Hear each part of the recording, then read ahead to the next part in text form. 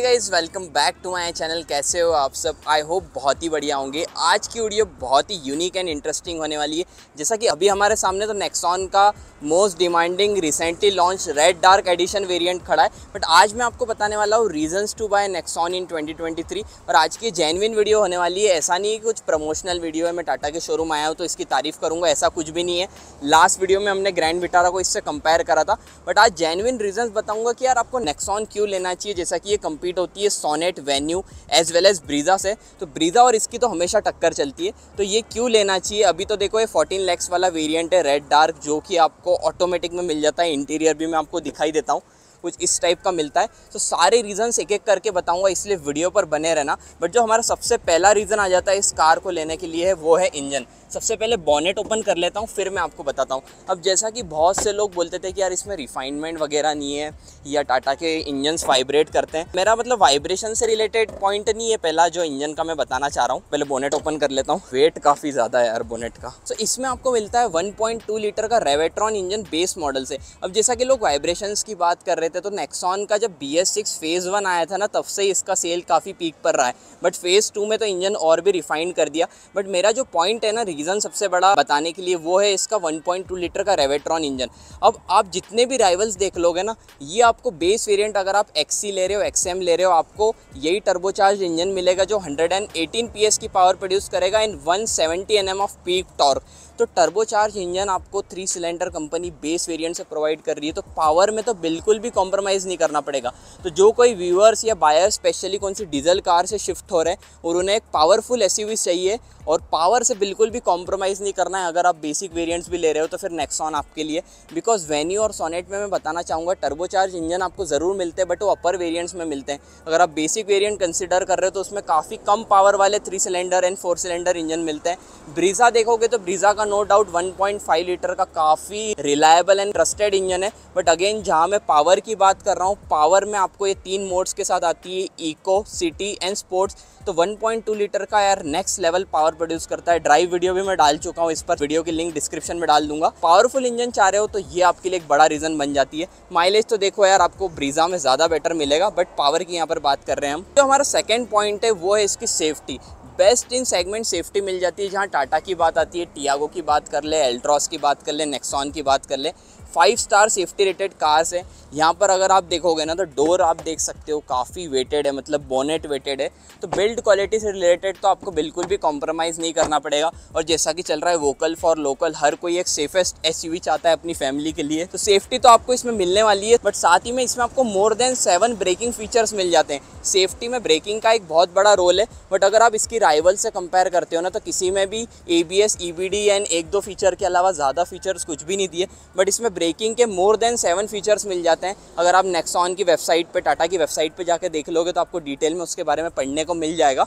तो ये एक सेकंड सबसे बड़ा रीज़न बन जाता है नेक्सॉन लेने के लिए, वो है इसकी सेफ्टी थर्ड रीज़न है इसका best in segment ground clearance as well as with 209 mm का आपको यहाँ पर ग्राउंड क्लियरेंस मिल जाता है, जो कि बेस्ट इन सेगमेंट मिलने वाला है। अगर आप रूरल एरियाज़ के हिसाब से हिली एरियाज़ ऑफ़ रोडिंग के लिए लेना चाह रहे हो टकराने जैसा कोई भी इशू नहीं आएगा। 209 mm का best in segment ground clearance साथ ही में सबसे ज़्यादा विड्थ आपको 1811 mm की विड्थ मिल जाती है जो कि इसके कॉम्पिटिटर से सबसे ज़्यादा है।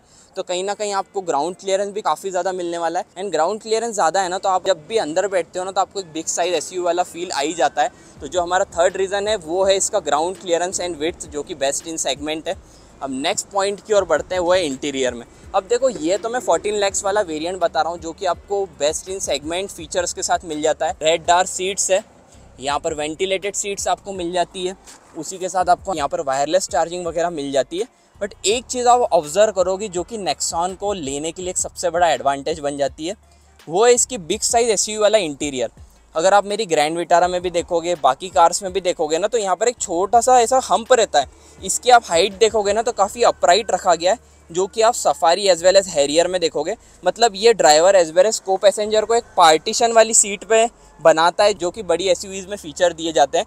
तो ये जो कंपार्टमेंट है ना सेंटर कंसोल यहाँ तक पूरी हाइटेड दी है ना, उसके कारण एक बिग एस वाला फील आपको अंदर बैठने के बाद आएगा, जो कि आपको कौन सी भी राइवल कार में देखने को नहीं मिलता है। उन सब में हम लाइक आप कौन सी मारुति सुजुकी सोनेट वेन्यू देखोगे ना तो सब में काफ़ी नीचे रहता है। तो ये हाइटेड देने के कारण एक कंपार्टमेंट फील होता है और एक बिग एस वाला आपको यहाँ पर फील आने वाला है। ओवरऑल इंटीरियर तो आप चेकआउट कर ही सकते हो। सो so, ये एक सबसे बड़ा रीज़न बन जाता है। अगर आप एक ड्राइविंग एंथुजियास्ट हो मोड्स तो मैंने आपको यहाँ पर बता ही। दिए हम नेक्स्ट फीचर की बात करते हैं वो है इसके हरमन गार्डन म्यूज़िक सिस्टम अब देखो टाटा की कुछ कमियाँ हो सकती है कुछ खूबियाँ हो सकती है। वो सारी बातें अपनी जगह कौन सी भी कार परफेक्ट नहीं होती सबके अपने प्रोज एंड कॉन्स होते हैं। बट जहाँ म्यूज़िक सिस्टम की बात आती है ना मैं सारी गाड़ियों की म्यूज़िक सिस्टम सुन चुका हूँ। हरमन गार्डन के जो म्यूज़िक सिस्टम है ना यार नेक्स्ट लेवल साउंड क्वालिटी देते हैं। मतलब आपको यहाँ पर देख सकते हो ट्विटर्स एंड स्पीकर्स मिल जाते हैं। तो ओवरऑल साउंड क्वालिटी इतनी अल्टीमेट आपको मिलने वाली है ना तो अगर आप एक म्यूज़िक लवर हो तो फिर आपको नेक्सॉन में मतलब बिल्कुल भी निराशा नहीं होगी या आप ऐसा नहीं सोचोगे कि यार आफ्टर मार्केट जाके कौन से म्यूज़िक सिस्टम या स्पीकर्स अपग्रेड करा लूँ तो हरमन गार्डन के म्यूज़िक सिस्टम आपको काफ़ी बढ़िया क्वालिटी प्रोवाइड करने वाले ऑडियो क्वालिटी अब देखो, इतने सारे रीजंस तो बता दिए लाइक मैंने आपको इंजन का बता दिया सेफ्टी का बता दिया ग्राउंड क्लियरेंस बता दिया इंटीरियर में हरमन गार्डन बता दिया। तो देखो, वैसे तो बहुत सारे फीचर्स है बताने के लिए बट एक लास्ट रीज़न जो कन्विंस करता है सारे कस्टमर्स बताना चाहूँगा कि आपको नेक्सॉन क्यों लेना चाहिए, वो है इसका इंस्ट्रूमेंटल क्लस्टर अब बेस मॉडल से आपको इंस्ट्रूमेंटल क्लस्टर इस सेगमेंट में कौन सी भी गाड़ी प्रोवाइड नहीं करती। मतलब इसमें आपको फुल्ली डिजिटल इंस्ट्रूमेंटल क्लस्टर एक्सी मॉडल से मिल जाता है। बट अगर आप सोनेट वेन्यू एंड ब्रीजा के सारे वेरिएंट्स देख लोगे ना, आपको एनालॉग ही मिलता है और बाकी में डिजिटल आ जाता है अपर वेरिएंट्स में। बट इसमें आपको बेस मॉडल से प्रोवाइड करा है। और यही कुछ रीजंस थे जो मैं आपको आज की वीडियो में बताना चाह रहा था। अब देखो, जिस वेरिएंट में मैं बैठा हूँ, वो भी काफ़ी डिमांड में फोर्टीन लाख रुपीज़ का आता है। हालाँकि ऑटोमेटिक वेरियंट है। अगर आप मैनुअल वाला लोगे तो आपको around twelve lakh sixty thousand के अराउंड आ जाएगा। एग्जैक्ट ऑन रोड प्राइस आप चेकआउट कर सकते हो। सो so, इसमें आपको बहुत सारे फीचर्स मिल जाते हैं। लाइक वायरलेस चार्जिंग यहाँ पर आपको एक्सप्रेस कूल मिल जाता है। जैसे ही मैं इसे प्रेस करूँगा आप देखना विंडोज़ कैसी डाउन होती है। एक्सप्रेस कूलिंग ऑन विंडोज़ में रोल डाउन एंड इसी वेरिएंट में आपको सनरूफ भी मिल जाता है वेंटिलेटेड सीट्स मिल जाती है। एंड इस अपोल्स्ट्री के कारण एक अलग ही प्रीमियम फील इसमें देखने को मिल रहा है। ओवरऑल अगर वीडियो कंक्लूड करें तो गाइज़ यार आपकी टोटली चॉइस के ऊपर डिपेंड करता है आपको कौन सी सब कॉम्पैक्ट एस लेनी है। बिकॉज़ इस बजट में आप क्रेटा के बेसिक वेरिएंट्स उसके बाद ग्रैंड विटारा सेल्टॉस सब पे स्विच हो सकते हो अगर आपका चौदह लाख का बजट है। कम बजट है तो फिर आपके लिए ये ऑप्शन तो है ही। बट जहाँ देखो कंक्लूजन की ओर बढ़ते तो जहाँ आपको एक सेफ़ एसयूवी चाहिए पावर इंतुजियास्ट एस चाहिए तो आप नेक्सॉन की ओर जा सकते हो।